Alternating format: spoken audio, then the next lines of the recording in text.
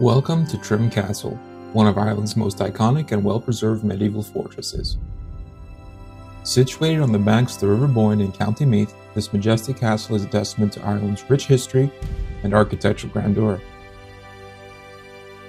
Built in the late 12th century by the Norman lord Hugh de Lacy, Trim Castle symbolizes Norman power and influence in Ireland.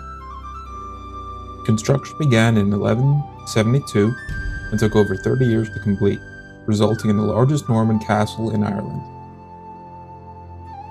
Trim Castle played a pivotal role in Norman conquest and subsequent colonization of Ireland, serving as a stronghold and administrative center. The castle is renowned for its impressive architectural features, including the massive three-story keep, curtain walls, and moat. The keep, designed in a cruciform shape, is unique in its design and showcases the military engineering prowesses of the Normans. The keep was not only a defensive structure, but also served as a residence and administrative hub.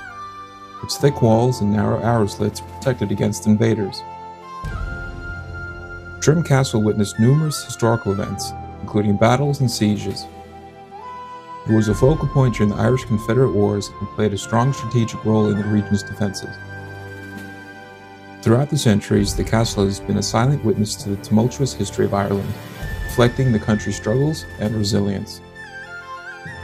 Today, Trim Castle is a popular tourist destination, offering guided tours to take visitors through its rich history and architectural marvels.